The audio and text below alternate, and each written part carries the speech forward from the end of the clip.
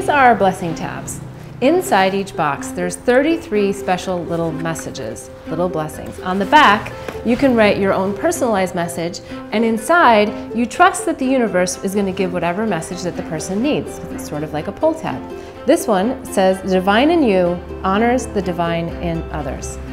On the back of the box, you'll see that ingredients, affirmations and blessings of pure love, recommended usage as frequently as possible to assist in pollinating the planet with love, which is our mission, and warning, giving and receiving love is necessary to life. A lack of this mixture may result in unwanted symptoms.